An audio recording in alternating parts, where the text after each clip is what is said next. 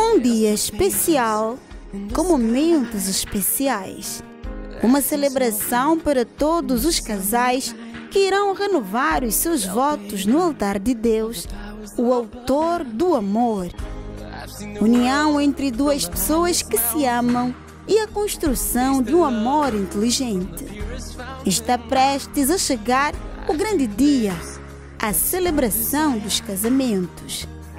No dia 30 de maio, às 18 horas, vinha fazer parte desta cerimônia especial e testemunhar este momento único que terá lugar na Catedral de Maculus. Terapia do Amor um lugar onde você aprende o amor inteligente.